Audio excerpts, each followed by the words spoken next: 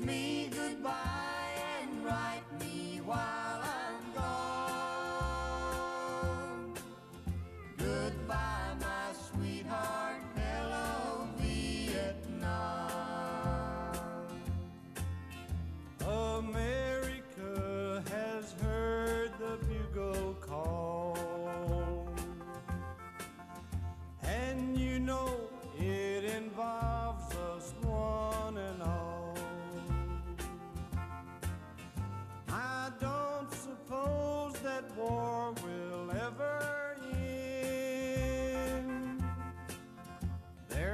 fighting that will break us up.